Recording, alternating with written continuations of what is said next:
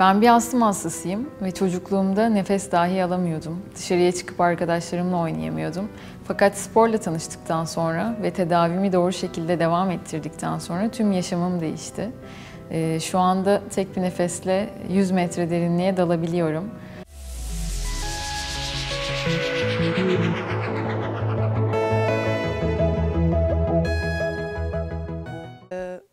İki tane de hazırlık maçımız var.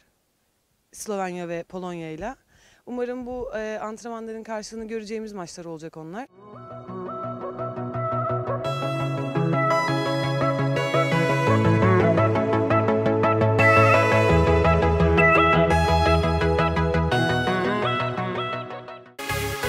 Hem bir co-pilot hem de bir snowboard yarışçısı. Çiçek Güney aynı zamanda bir milli sporcu.